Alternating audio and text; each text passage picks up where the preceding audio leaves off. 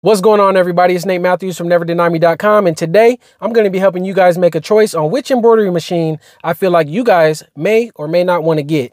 Today's video is going to be kind of like a remix of the one that I made previously. So if you guys did not see the original videos, actually I made about two or three of them comparing a bunch of different embroidery machines. Uh, go ahead and click the card that pops up. Here's the thumbnail on a couple of them that I've made.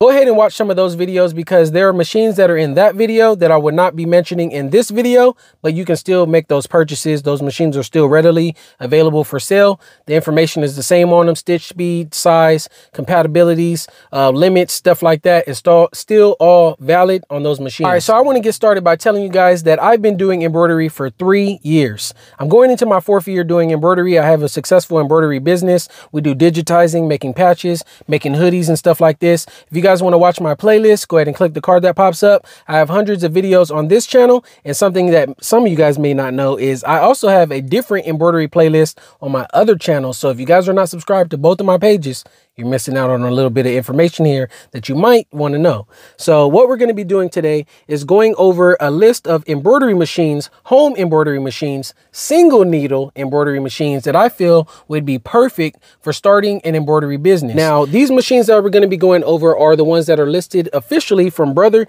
that Brother is still promoting on Amazon. If you guys are interested in any of these machines, please use the link in the description below. It actually allows me to get credit. Now, I do not work for Brother. I'm not affiliated affiliated directly with Brother. I've just been using Brother embroidery machines for a couple years now, so I'm pretty educated on how on them and how they work and which ones I think are worth your money and which ones you may want to stay away from. Starting on this list, the first thing that we want to cover are the importance of knowing which embroidery machines are capable of stitching only 4x4 four by four inches in a square, and which ones are capable of stitching up to five by seven. In addition to that, we want to go over the ones that I think you should stay away from. And before I forget, let's start off with that list of the ones on this list that I feel like you guys should stay away from. So starting off, we have the Brother machine that is partnered with Star Wars. We have a Star Wars, a Marvel, and a Disney embroidery machine that we see on the screen here. And I'll actually put an attachment on the side so you guys can see them larger. Now, the reason why I think you should stay away from these three machines machines are because of the limitations that you will have with them. Not only are all three of those machines only capable of stitching four by four inches of space, but they also uh, are charging you extra to have those built-in designs. So for example, the one that's Star Wars, the Star Wars edition machine, it says it has 10 downloadable Star Wars designs. So you're just paying extra to have extra designs that are licensed from Star Wars. You're also paying extra to have 10 downloadable Marvel designs in the Marvel machine. With the Disney one, they actually give you a lot more, but you're still paying for it. So it says the Disney embroidery machine comes with 45 Disney designs. Now, the reason why some of you guys may still be intrigued to do that is because uh, if you plan on just doing this as a hobby and never expanding it into a business, then go for it. Get any of the machines on this list, no matter what I say, right? But the thing is that you might want to think about is that, for example, Disney partnered with Brother to be able to put those designs into the machine. You as a consumer can buy this machine and say, hey, I like Mickey Mouse, and you can go ahead and make a sweater like I did and put Mickey Mouse on your sweater. But the thing is, you would only be able to wear make that sweater for yourself or your grandkids or maybe your, your friends and stuff like that. Now, if you guys start trying to sell stuff, you're not able to do your that. business blows up, for example, and you're just known for making, you know, remixing a Mickey Mouse hoodie or doing whatever else, you could end up getting in trouble for that. So um, if you do not plan on using these designs for anything extra outside of yourself, don't pay the extra money for them because that's the reason why these prices are a little spiked uh, compared to the other machines that I'm going to go over. Up next, we're going to be talking about the Brother SE 1900. Now, something real quick. If you guys just want to follow along with somebody who you feel like is a professional, who knows a lot about it, if you like to see um, somebody using your exact machine on screen while you're stitching out something and while you're trying to learn, I'm that guy. So if you're thinking about getting the SE 1900, I actually own the SE 1900 in addition to other machines that I have, and I'm going to be getting more in the future. But um, when I made my original comparison video explaining the top five embroidery machines, um, the SE 1900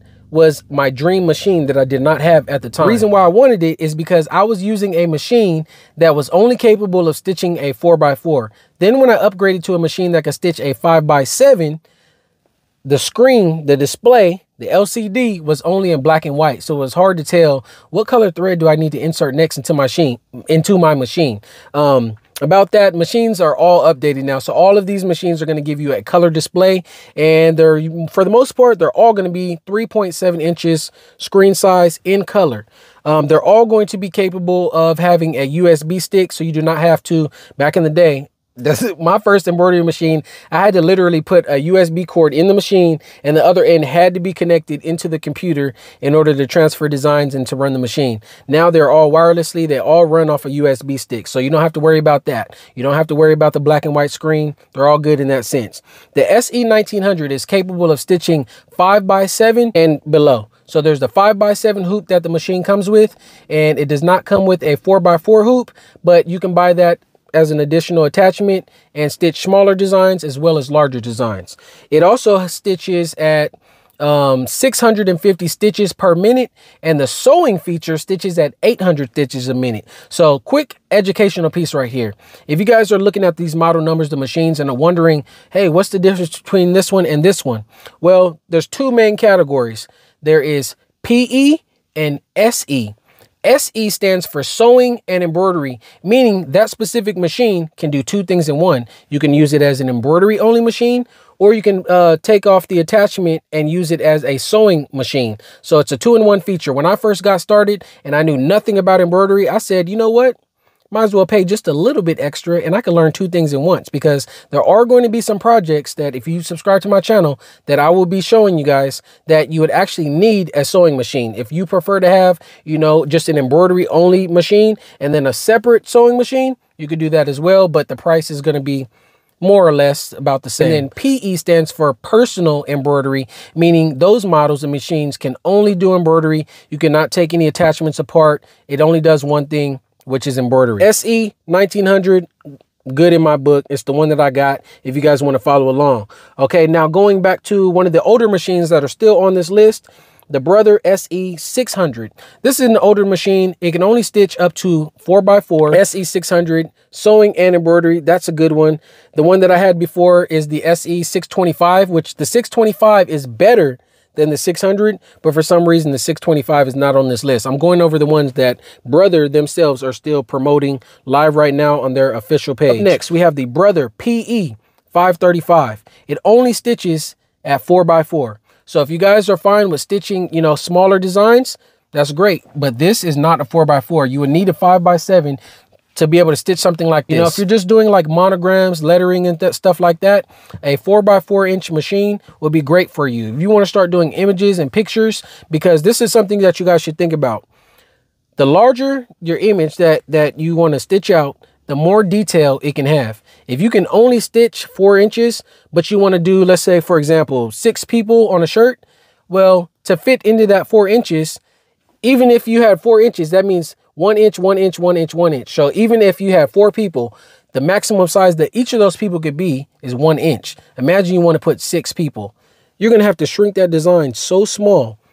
And not only are the is the overall design going to be small, but think about the details like the the glasses, the nose, the teeth, earrings, or anything like a hat. That's going to be something additional to add to the size. So if the overall design needs to be one inch or one and a half inches, but you want to add a hat, you want to add this, you want to add a chain, you want to add this. Well, now the design is going to get smaller and smaller, the details. The eyes are going to be like dots in order to get all that image into that space. Um, just keep that in mind. So a larger machine is better.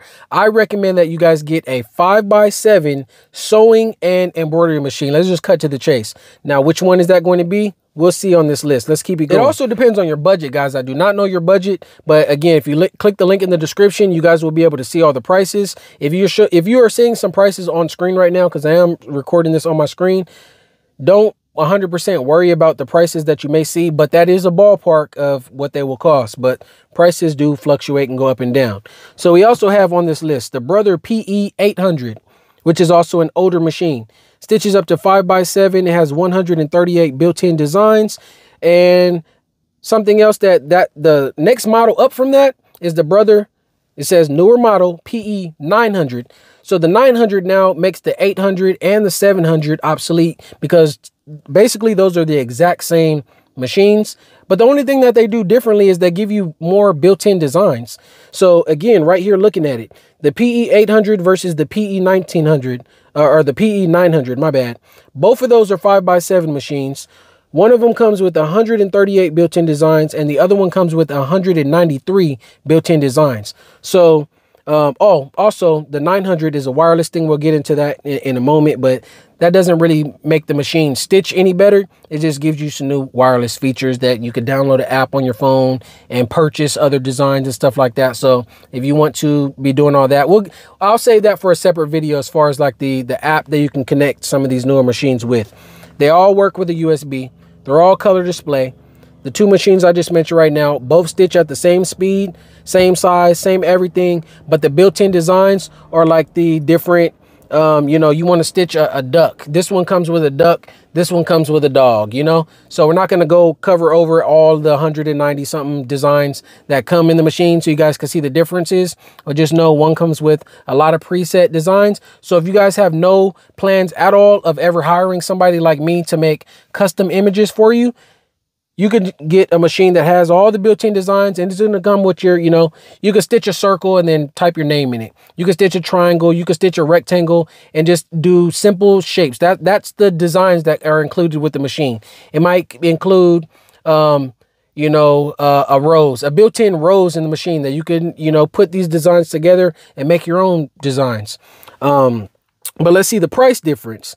Now the 800 shows at 877 the 900 is 1150, right? So for the difference in price, I would not get the pre the PE 900 because again, these machines, same capabilities, not much different um, going on there. All right, almost done with the list. Did I skip a couple? I might have skipped a couple, but it's okay. We're going to cover the ones that I feel like are, are the main ones that we should be covering today. Up next, we have the Brother SE700. Let's check out this one. The Brother 700 is looks like it's the same thing as the what what was it? The Brother SE600, the 625, the 535. These are all in the same category because these are all smaller machines that are only capable of stitching 4 inches of space, right? Now the 700 135 built-in designs, 103 built-in stitches, 3.7 inch screen. Same thing right? So it's nothing different about the machine. The only thing different about that machine is that it does have the wireless capabilities for you guys to be able to connect it to your app on your phone. I don't know if it's an android and um, apple but whatever it is the Artspira app you can download the app. Any designs that are not built into your machine already you can scroll through the official list from brother purchase a design from the from their app store and send it wirelessly to your machine as long as you're, you're connected to wi-fi right um, so that one being priced at $500 compared to, for example, the 535, the 545, um, the 600, the 550.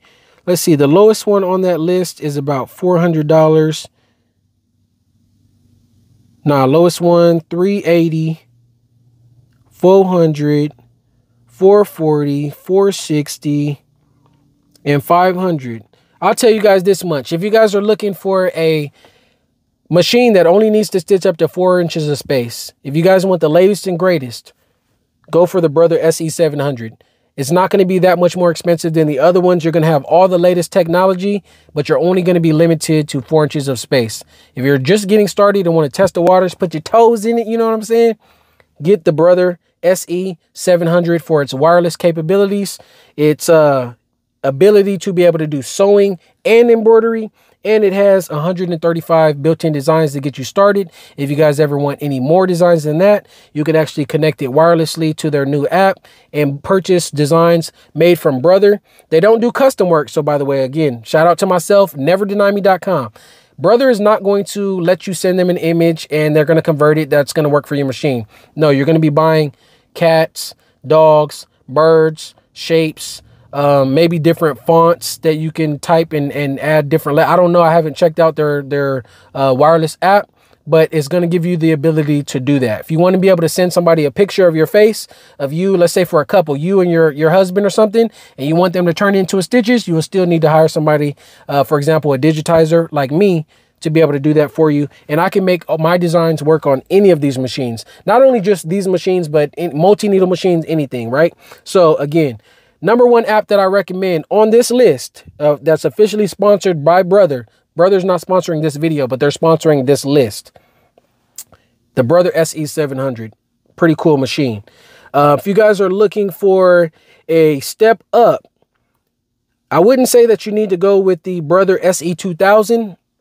Let's get into that real quick too. I don't think, I think I might have skipped that one. We saved it for last. The top machine on this list right now is the Brother SE2000. It is the newest machine. Not only is it the newest machine, it also has the wireless capabilities. You can put a USB stick in it. It has a color 3.7 inch screen. Um, it can it can connect to the app to purchase more designs. I can make designs for this machine as well. It is an SE machine, meaning it does sewing and embroidery, but the difference between that compared to the 700 is the 2000 also can stitch a maximum of 5 by 7 The 700 only 4 by 4 the 2000 up to 5 by 7 which is what I made something like this. Something else you want to think about. That is a $1,000 difference. One is $500, one is $1,500. Would you be willing to pay an extra $1,000 just to be able to stitch one more inch of height and three more inches wide in your design. That's something to really think about. So I don't know your guys' budget. If you're just getting started and you want to start at the bottom of the bottom, but still have the top of the line machine, Brother SE700. If you want to go all in and, and $1,500, just again, depending on your budget, but knowing how much like multi-needle machines cost, uh, $1,500 is a great starting price if you are serious about getting started in embroidery and if you have dreams and hopes and aspirations of actually turning it into a business.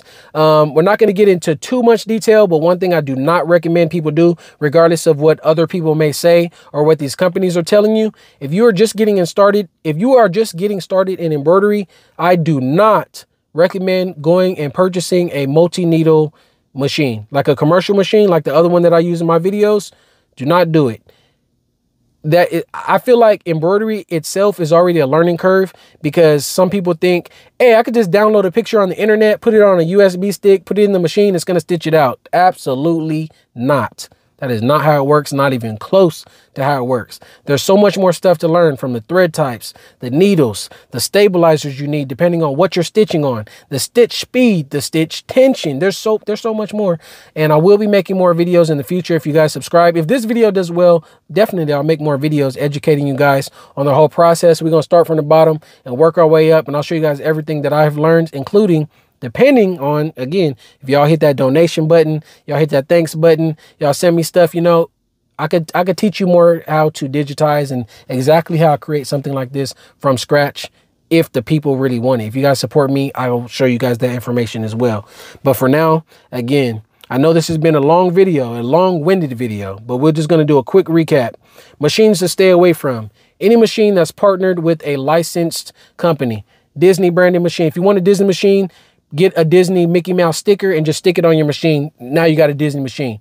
Don't worry about those built-in designs unless you only want to make stuff for your grandkids and make them, you know, a, a uh, um, I'm just going to keep saying Mickey Mouse, a Mickey Mouse design, because you can only use those designs for personal use. You cannot make any money off of those designs. So if you can't make any money off of it, it's not profitable for a business. Stay away from the branded ones. The machine that I currently have, the Brother SE1900, is a great machine. I actually got it on a great deal, but the price right here that you see right there is not that bad, especially comparing the SE1900 to the SE2000 that are both capable of the exact same thing outside of the wireless uh, features. That's the only difference right there. They stitch at the same speed. Don't worry about the built-in designs. They both do sewing and embroidery. They both have 3.7 inch color display. They both take a USB stick. They both read the same file types stuff like that. And I think my uh the video is about to cut off right now. We've gone to our limit. So hopefully you guys found this information helpful. And I guess we'll wind it on down to our top three embroidery machines that I think you guys should get. The Brother SE 1900. I think that's number one on this list for getting started with the latest and greatest. That way you don't got to worry about upgrading for a while. Brother SE 1700, very good price color display, all the features that you're going to need. Your only the only downside is you are limited to four inches of space. Now, if you guys are big ball and you want the latest and the greatest, go for the Brother SE2000. It is the top of the line out of all these ones on this list. It does everything. Big, big designs, small designs. It's wireless, stitches, and it sews. And that's great. Let's just add one more in just for a little razzle dazzle. You know what I'm saying?